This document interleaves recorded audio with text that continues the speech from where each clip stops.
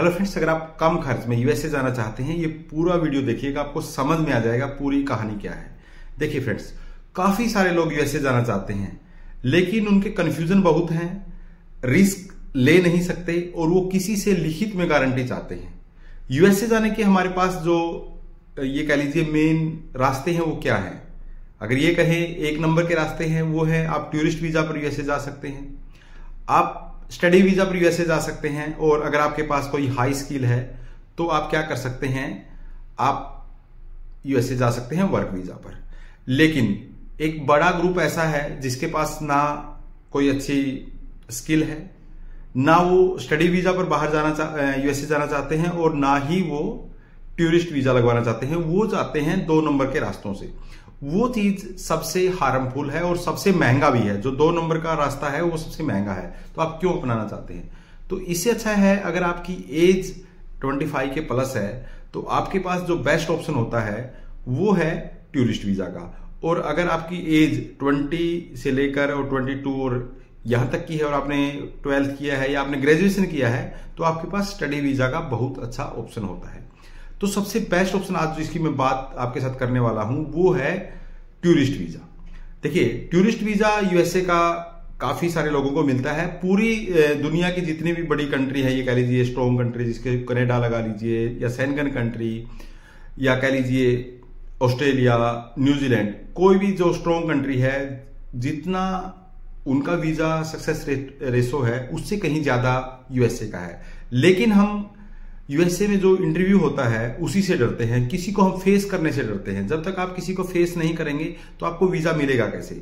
सबसे ये कह सकते हैं, ये जो इतनी कंट्री है, उनमें सबसे कम डॉक्यूमेंटेशन है यूएसए वीज़ा के लिए। तो क्या डॉक्यूमेंटेशन है? कौन से डॉक्यूमेंट चाहिए? इंटरव्यू में क्या क्वेश्चन पूछे जाते हैं? उनको कैसे तैयार किया जा सकता है?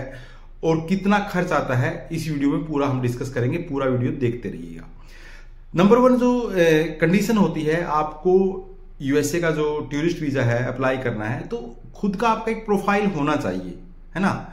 उस प्रोफ़ाइल पर आप सिक्स मंथ से अगर वन ईयर का काम करते हैं तो आपका प्रोफ़ाइल बन सकता है। आपके पास एक डिसेंट बैंक स्टेटमेंट हो, जिसमें फ्रिक्वेंटली ट्रांजेक्शन है उसके साथ साथ आपके पास या तो आपका कोई बिज़नेस आपने रजिस्टर्ड किया है वो आपके पास हो जिससे आपको ये कह लीजिए fifty to seventy thousand income आ रही हो और उसके साथ साथ या आपकी कोई भी जॉब जो भी आप अगर जॉब पे हैं तो वेल एंड गुड है अगर नहीं तो आप अपनी प्रोफ़ाइल बिल्ड कर सकते हैं। देखिए आपको जो खर्च करना है ना वो अपनी प्रोफ़ाइल बिल्ड कर, करने पर कीजिए किसी की गाइडलाइन में खर्च अपनी प्रोफ़ाइल बिल्ड करवाइए एक साल का समय दीजिए और आपका इतना पैसा बच जाएगा कि आप सोच भी नहीं सकते।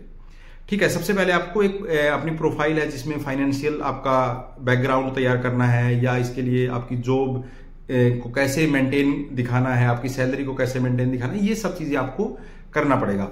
और उसके बाद क्या होता है कि जो यूएसए का टूरिस्ट वीज़ा है, उसके जो बेसिक ये कह लीजिए स्टेप्स कह लीजिए, उनमें सबसे पहले है कि आपको उसके लिए एक फॉर्म है डीएस 160 वो फिल करना है। डीएस 160 फिल करना है। आपने D S one sixty fill कर दिया। देन क्या होगा? आप अपना क्या करेंगे? अपॉइंटमेंट बुक करेंगे। अपॉइंटमेंट का जो बुक होगा, उसमें आज का समय जो इंडिया में अपॉइंटमेंट है, वो काफ़ी टाइम बाद की मिल रही है। हो सकता है कि आज आप अप्लाई कर रहे हैं और अपॉइंटमेंट बुक कर रहे हैं और नेक्स्ट ईयर का अपॉइंटमेंट आपको मिले। लेकिन इसके लिए आप, हम जैसे लोगों का सहयोग ले सकते हैं जिसपे ज़्यादा खर्च नहीं होता, कम ही खर्च होगा।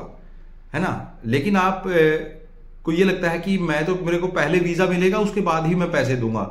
वहाँ पर आपको क्या होता है कि आप वहाँ पर पच्चीस हज़ार का पच्चीस लाख देते हैं। जहाँ पर आपका खर्च पच्चीस हज़ार होना था, लेकिन वहाँ पर आप खर्च कितना कर रहे हैं?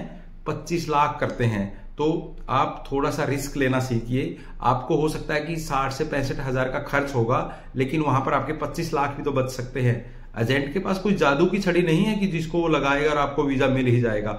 आपको इंटरव्यू उसके बाद भी देना पड़ेगा और आपको वीज़ा मिलने के चांस उतना ही है जितना आप खुद से या स्टेप बाय स्टेप अप्लाई करवाते हैं, उससे आपको वीज़ा मिलेगा। आपने डीएस वन सिक्सटी फिल किया। डीएस वन सिक्सटी में आपको सब कुछ ही डिटेल डाल देना है। डिटेल में आपका पर्सनल डिटेल है, आपका जॉब का डिटेल है, आपका यूएसए में क्या प्लान है, कब आप जाना चाहते हैं, पूरा का पूरा डिटेल आपको डीएस वन सिक्सटी में फिल करना है। उसके बाद आपको अपॉइंटमेंट बुक करना पहले उसके बाद फ़ी पे करना है और फ़ी पे करने के बाद आपको अपॉइंटमेंट शेड्यूल करना है। और आप कोशिश करिए कि आप अपॉइंटमेंट के लिए अगर आपको नहीं जल्दी मिल रहा तो या तो आप कोशिश कर सकते हैं, अगर आपको इसकी ट्रिक पता है, नहीं तो आप किसी का सहयोग ले सकते हैं हेल्प ले सकते हैं।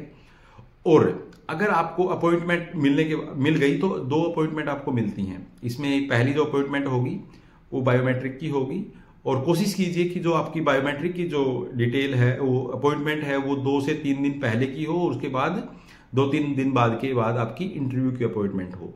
अब जिस दिन आपका इंटरव्यू होता है, उस दिन आपको कोई अलग से वहाँ पर जैसे ड्रेसिंग सेंस और ये चीज़ें, कोई अलग से आपको ताम झाम करके जाने की भी ज़रूरत नहीं है। क्योंकि कुछ लोग जैसे अगर बंदा जा रहा है, वो कोट, पैंट, टाई लगा के ऐसे मतलब दिखाए कि उसको ओवर शो करेगा तो उससे आपको कुछ मिलने वाला नहीं है। हो सकता है कि आपका वीज़ा भी रिफ्यूज हो सकता डिक्लाइन हो सकता है। और ना ही आपको इतना भी कैजुअल होकर नहीं जाना है कि बिल्कुल ऐसे ही मतलब चले गए नॉर्मली वो भी नहीं। बिल्कुल मीडियम आपको रहना है। जैसे आप एक ऑफ़िस में जाते हैं, ऐसे ही आपको वहाँ पर जाना है। अब जैसे वीज़ा ऑफिसर आपसे क्वेश्चन करता है, उनका होनेस्टली जवाब देना है। वीज़ा ऑफिसर आपसे क्या क्वेश्चन कर सकता है? आप यूएसए क्यों जाना चाहते हैं? सबसे पहले। उसके बाद आपका इनकम मंथली कितना है? ईयरली कितना है? आपका सेविंग कितना है? आपका आइटनरी प्लान कितना, क्या है? आप कहाँ कहाँ घूमना चाहते हैं? कोई आपका यूएसए में है कि नहीं? ये क्वेश्चन सबसे ज़्यादा पूछा जाता है कि अगर आपका कोई यूएसए में है कि नहीं? अगर आपने बोल दिया तो मेरा चाचा, मामा, ताया, जो भी रहता है तो आपका वीज़ा वहीं से डिक्लाइन होगा। आपको कभी भी नहीं कहना है कि मेरा यूएसए में कोई है। बिल्कुल कोई नहीं है, मैं तो बस घूमने जाना चाहता हूँ।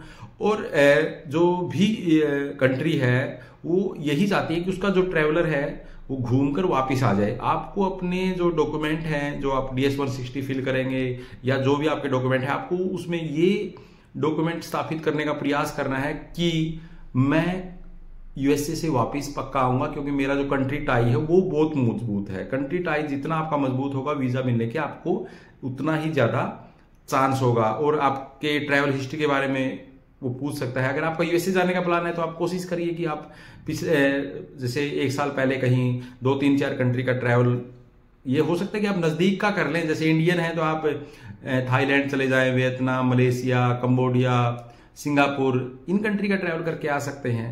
तो कुछ कंट्री का ट्रैवल आपके पास होगा तो आपके पास एक स्ट्रॉन्ग पॉइंट होगा कि ये एक रियल ट्रैवलर है और कोई प्रॉब्लम नहीं है, ये घूम कर वापस आ जाता है। कोशिश करो कि रसिया चले जाओ, रसिया से वापस आ जाओ। कोशिश करो कि जापान चले जाओ, जापान से वापस आ जाओ, तुर्की चले जाओ। जहाँ का वीज़ा थोड़ा फ्रिक्वेंटली मिल जाता है, वहाँ जाकर वापिस आओ। तो आपको वीज़ा मिल जाएगा, कोई प्रॉब्लम नहीं है। लेकिन मिलेगा कब? जब आप अप्लाई करेंगे। जब तक आप अप्लाई नहीं करेंगे तो आपको वीज़ा मिलने वाला नहीं है। और देखिए, आपको जो, अगर कम पैसे में, कम खर्च में वीज़ा चाहिए और यूएसए आपको जाना है तो आप किसी भी एजेंट के साथ, जो भी आपके नियर डियर हो, उसके पास क्या करें कि स्टेप बाय स्टेप उसके साथ कहें कि मेरा आप वीज़ा अप्लाई कीजिए। देखिए, वीज़ा की जो फ़ी है, वो लगभग पंद्रह हज़ार के आसपास है। उसके बाद तो आप आप एक, जो भी आपकी प्रोफ़ाइल बिल्डिंग है प्रोफ़ाइल को ठीक से मेंटेन करने के लिए जो चार्ज होगा, वो आप उसको पे कर सकते हैं। साथ ही साथ अगर अर्ली अपॉइंटमेंट के लिए कुछ चार्ज होगा तो वो आप उसको पे कर सकते हैं। बस दो ही चार्ज आपको लगेंगे, एक अर्ली अपॉइंटमेंट के लिए और एक आपका प्रोफ़ाइल प्रोफाइलिंग मेंटेन करने के लिए। वो आपको दो चार्ज लग सकते हैं। और मैं ये कहता हूँ कि आपका बहुत बड़ा पैसा बच सकता है अगर आप खुद इसका रिस्क लेंगे। लेकिन आपको तो क्या करना है? पच्चीस हज़ार नहीं देने हैं, पच्चीस लाख देना है। तो इस सोच से बाहर निकलिए। वीज़ा मिलेगा और वीज़ा मिलना और ना मिलना किसी के हाथ में नहीं है वो आपके जो इंटरव्यू में आपका प्रेजेंटेशन है उसी के आधार पर मिलने वाला है। आपके डी एस वन सिक्सटी में जो आपने फिल किया है उसी के आधार पर मिलने वाला है। तो आप हो सकता है कि डी एस वन सिक्सटी खुद अप्लाई ना करें लेकिन किसी भी कंसल्टेंट से, से आप अप्लाई करवा सकते हैं और क्योंकि उससे क्या होगा कि वो आपका फिल आउट सही से होगा और आप हो सकता है उसी के रिस्पॉन्स में आपको वीज़ा मिले। तो ये स्टेप अगर आप अपनाएँगे तो यूएसए का वीज़ा मिलेगा और यूएसए के जो स्टेप मैंने आपको बताया कि पहले आप डीएस वन सिक्सटी फिल करेंगे, उसके बाद फ़ीस पे करेंगे अपॉइंटमेंट बुक करेंगे और देन आप क्या करेंगे? इंटरव्यू देने जाएँगे। तो यही स्टेप है यूएसए का वीज़ा मिलना कोई बड़ी बात नहीं है और 2024 जून 2024 में यूएसए में क्या हो रहा है? टी ट्वेंटी वर्ल्ड कप हो रहा है। ये एक अच्छा स्ट्रॉन्ग रीजन है कि आप ये कह सकते हैं, मैं तो टी ट्वेंटी वर्ल्ड कप देखने के लिए जा रहा हूँ। तो आप जाइए और वहाँ पर आपको जो करना है, आना है आना है, जाना है तो रहना है तो रहिए। लेकिन आप इस, ये स्ट्रॉन्ग पॉइंट है आपके पास वहाँ पर जाने का। और इसमें अगर आप हमारी टीम का कोई भी सहयोग चाहते हैं तो दिए गए नंबर पर क्या कर सकते हैं? मैसेज कर सकते हैं, अपनी प्रोफ़ाइल शेयर कर सकते हैं तो और अपना वीज़ा अप्लाई कर सकते हैं। Thank you